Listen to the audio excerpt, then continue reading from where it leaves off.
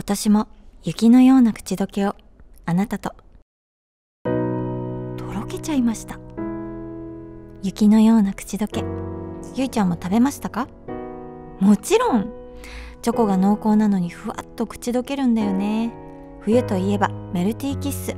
お一ついかがですか？ラムレーズン？ブランデーオレンジピール？あなたの気分はあなたの気分はどれ？うん。選べません。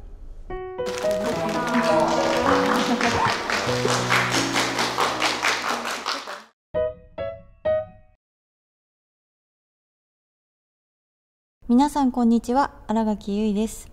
今年も雪のような口どけのメルティーキッス洋酒の広告に出演させていただくことになりました。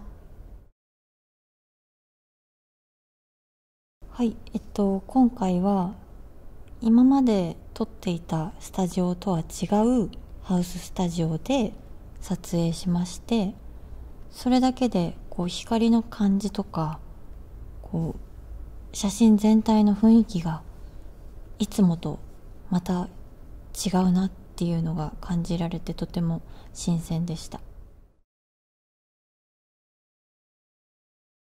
あの本当にいろんなパターンをいろんな種類を取らせてもらったので聞いてくださる方に楽しんでもらえるのではないかなと思いますしラジオ DJ 風は私も昔あのラジオのパーソナリティをやってる時があったのでこうちょっとその時が懐かしくなったりと ASMR はなるほどなと思いました。メルティーキスならではの ASMR だなと思っています。はい楽しみにしていてください。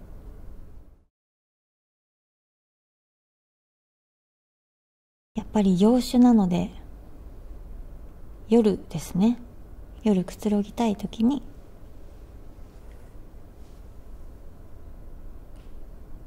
冷蔵庫から出したばかりのメルティーキス洋酒とホットミルクとかと一緒に楽しみたいなと今ふわっとイメージしました。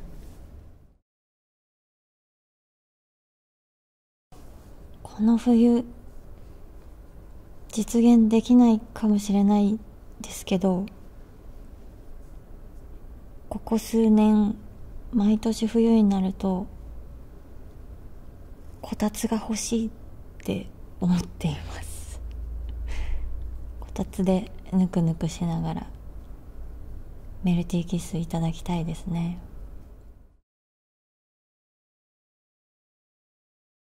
いよいよ発売開始しました。メルティーキス洋酒チョコレート。皆さんもぜひチョコがトロン洋酒と果実がほわんな贅沢な味わいをお楽しみください。